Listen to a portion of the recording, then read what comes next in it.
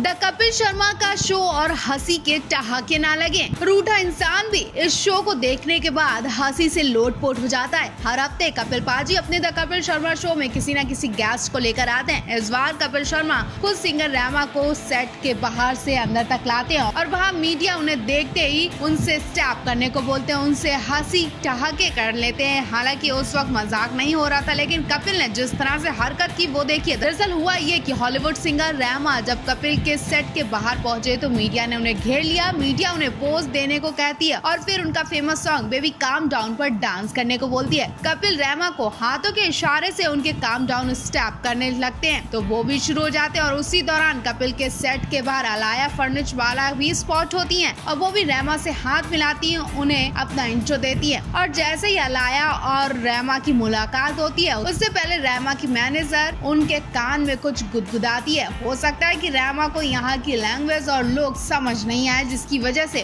पास वाली महिला उन्हें बार बार कान में कुछ ना कुछ गाइड कर रही हैं। कपिल शर्मा के कॉमेडी शो पर अब जो दिखने वाला है, उसका जादू दुनिया भर के म्यूज़िक फैंस पर खूब चढ़ने वाला है। जी हाँ कपिल शर्मा के शो पर कोई ना कोई, बल्कि पॉपुलर सॉन्ग काम डाउन के सिंगर रैमा भी आए, जो कि नाइजीरिया से है। इस शो में आगे क्या कुछ दिखने वाला है, इसे लेकर फैंस में बेचैनी ज़रूर बढ़ गई होगी।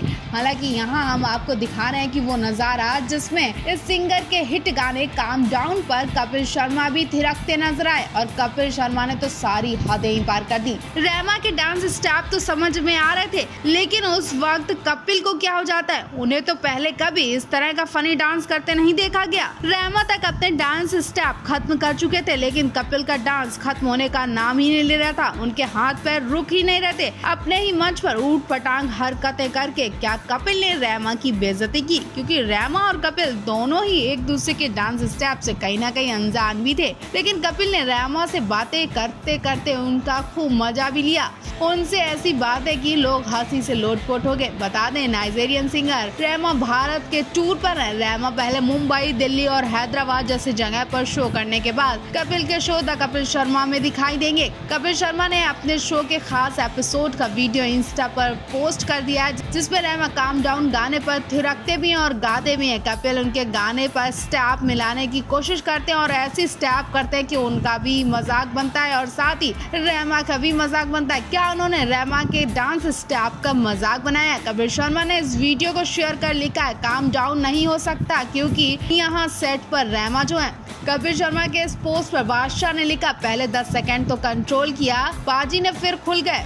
कुछ लोगों ने ये भी लिखा, ये इंटरव्यू देखने में मज़ा आएगा। कुछ ने कहा छा गए तो सिपाजी एक ने कहा, अब तो कपिल शर्मा शो सच में इंटरनेशनल शो बनता जा रहा है। तो हाँ बताते चले कि इससे पहले इस शो में कई और इंटरनेशनल सेलिब्रिटीज जैकी चैन और ब्रैडली भी नज़र आ चुके हैं। कुछ यूज़र्स ने कपिल शर्मा से डिमांड की कि द केरला स्टोरी वालों को भी बुलाओ भाई अब जो रैमा के बारे में नहीं जानते, उन्हें बता दे कि नाइजेरियन रैपर रैमा विजिंग द वॉर्न बॉय जैसे musician song of beats music बनाने के लिए फ़ेमस हैं। रेमा ने अपने debut studio album Rave and Roses में 11 फरवरी 2022 को कम डाउन रिलीज़ किया था। उसके बाद फिर 25 अगस्त 2022 को ही अमेरिकी फ़ेमस सिंगर सेलेना गोमेज के साथ इस गाने का रिमिक्स रिलीज़ किया। और वैसे ही इंटरनेट पर तूफ़ान मचा रहा ये सॉन्ग इक्यासी साल के जितेंद्र और पहले के जितेंद्र में आपको ज़्यादा फ़र्क नहीं लगता होगा। उन्हें देखकर उनकी उम्र का भी अंदाज़ा नहीं लगाया जा सकता।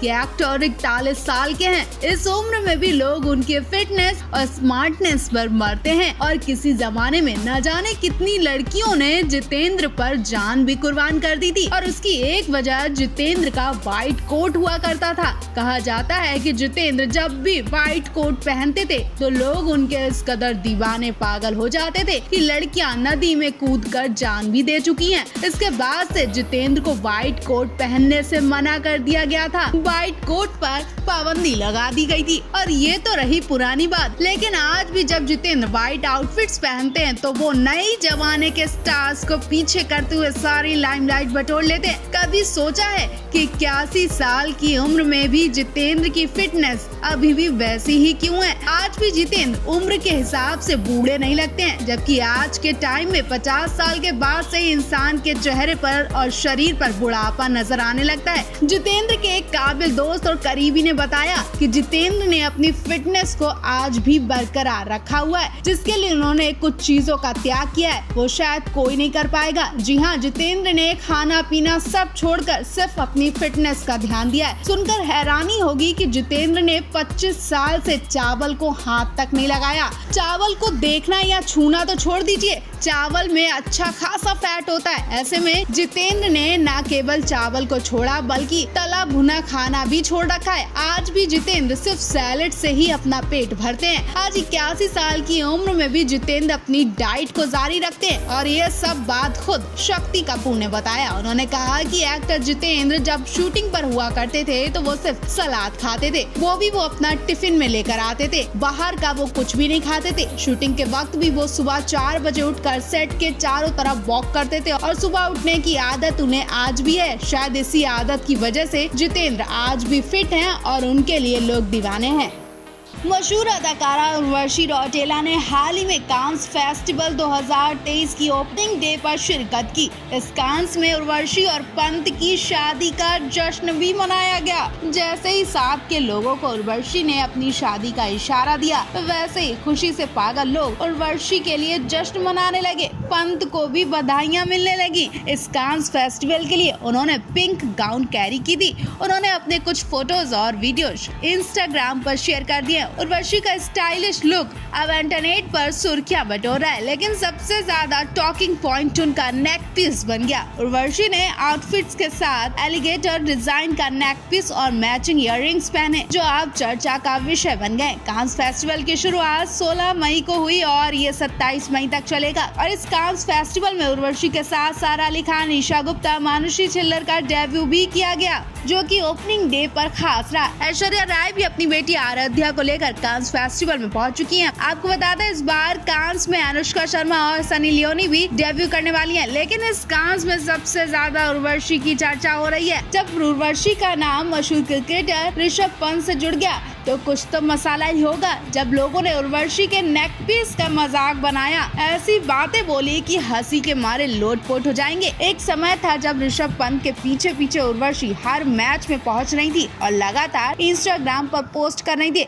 इसके साथ उन्होंने कहा था कि आरपी का मतलब राम पोथी ने नहीं समझ रही थी, क्योंकि वो इनके साथ एक प्रोजेक्ट कर रही हैं। लेकिन जब भी उर्वशी कोई पोस्ट शेयर करती हैं तो फैंस को इंडियन क्रिकेटर ऋषभ पंत ज़रूर याद आ जाते हैं। उर्वशी के वीडियो पर एक फ़ैन कहता है, इन्हीं हरकतों के कारण ऋषभ बाबू डर जाता है और दूर भाग जाता है। वहीं कुछ फैंस को उर्वशी का स्टाइल काफ़ी डिफरेंट लगा और वो उनकी खूबसूरती की तारीफ़ करते दिखाई दिए। कुछ लोग तो यही बोल रहे हैं कि उर्वशी ने गले में जो घड़ियाल लटकाया है। कहीं उसमें ऋषभ पंत की फ़ोटो तो नहीं है। कुछ हँसते हुए बोले, अब तो जूम करके देखना ही पड़ेगा। कुछ तो ये भी बोले कि पंत के नाम का मंगल सूत्र है उर्वशी के नेक पीस को लेकर तरह तरह के ऐसे मज़ाक या कॉमेंट किए जा रहे हैं। कुछ तो ये भी बोलते दिखे की उर्वशी और पंत शादी करने ही जा रहे हैं। उर्वशी अब पंत से शादी करके ही मानेगी और हमें तो यकीन है कि कान से लौटते ही उर्वशी पंत से शादी ही कर लेंगी। मतलब फैंस भी उर्वशी और पंत की शादी कराने में जिद पर अड़े हुए वैसे आपको क्या लगता है, क्या वाकई पंत उर्वशी की शादी जल्द हो जाएगी? ये जोड़ी आपको कैसी लगती है?